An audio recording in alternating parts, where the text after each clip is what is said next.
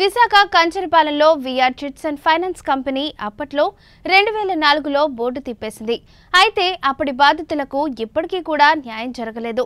అప్పట్లో సదరు కంపెనీ నుండి డిపాజిట్దారులు సభవనంలో సర్వే నెంబర్ రెండు వందల అరవై ఒకటిలో ఉన్న సుమారు పద్నాలుగు ఎకరాల భూమిని శ్రీ రాఘవేంద్ర స్వామి కాలనీ సంక్షేమ సంఘం పేరిట మూడు వందల పదమూడు బై రెండు వేల పదకొండులో రిజిస్టర్ చేయించుకుని ప్లాట్లుగా విభజించుకున్నారు. దీనిపై ఇప్పుడు కబ్జాదారుల కళ్ళు పడ్డంతో వారు పోలీసులను ఆశ్రయించారు. రెండు వేల పదమూడులో కాంగ్రెస్ ప్రభుత్వంలో ఎన్ఆర్ఎస్ క్రమబద్ధీకరణ చేసుకున్నందుకు జీవో ఇవ్వడంతో కొంతమంది ప్లాట్ల యజమానులు ఊడాకు సంఘం పొమ్ము వాయిదాల రూపంలో చెల్లించారు. అయితే అప్రోచ్ రోడ్డు కాస్త ఇబ్బందిగా ఉండడంతో ఎల్ఆర్ఎస్ను నిలిపివేశారు. రోడ్డుకు మూడు సెంట్ల భూమి అవసరం కాగా గతంలో కలెక్టర్కు ఆర్డీఓకు కలిస్తే న్యాయం చేస్తామని చెప్పారని బాధితులు తెలిపారు.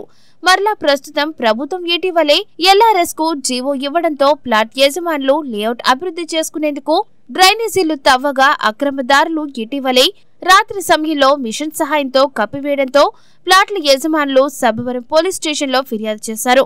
ప్రభుత్వం స్పందించి తమకు న్యాయం చేయాలని వారు మొరపెట్టుకున్నారు.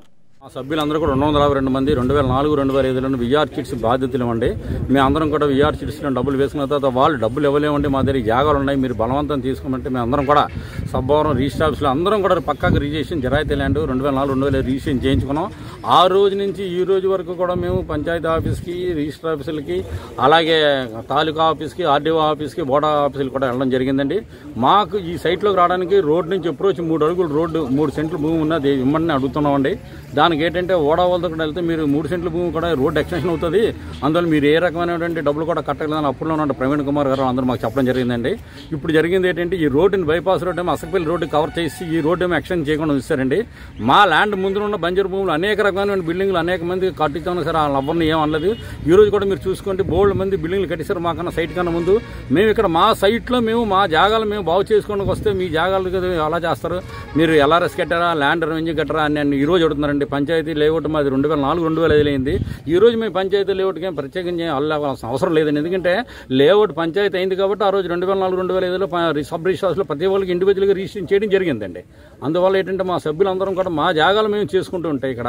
మూడు రోజుల ముందు ఎవరో సభ్యులు వచ్చి మా రోడ్లు మేము ఫార్మ్ చేసుకుని అందరూ ఇల్లు కట్టుకుందాం ఉద్దేశంతో అందరూ మా పని మేము చేసుకుంటుంటే ఆ రోజు రాత్రి మేము ఏమైతే కాలువలతామో ఎవరో ఒక ఐదుగురు ఆరుగురు వచ్చి ఇక్కడ మేము వేసిన కాలువలన్నీ కప్పేసి మాకు రెండు వేల నాలుగు రెండు వేలలో ఉన్న సర్వే వాళ్ళందరూ కూడా మొత్తం తొలగించి వేసి మొత్తం అన్ని కూడా రాళ్ళు కూడా పట్టుకెళ్ళిపోయారండి. అది ఎవరు వేశారన్నది మాకు తెలియకపోతే మేము సీఏ గారికి సభవనంలో కూడా కంప్లైంట్ ఇవ్వడం జరిగిందండి. కంప్లైంట్ ఇవ్వడం సీఏ గారు కూడా మా తాలూకా రికార్డ్ అంతా పరిశీలించి మీకు పూర్తి న్యాయం జరుగుతుంది మీకే అండి ఈ ల్యాండ్ అంతా మీదేనండి అని తప్పకుండా జరిగింది. మీ పని మీరు చేసుకోండి మీకు ఏ రకమైన ఆటంకం రామని చెప్పడం జరిగిందండి. ఆ రోజు నుంచి మాకు పోలీస్ స్టేషన్ నుంచి పూర్తి సహకారం అందించారు సీఏ గారు. వారికి కూడా ప్రత్యేక ధన్యవాదాలు తెలుపుతున్నానండి ఈ రోజు.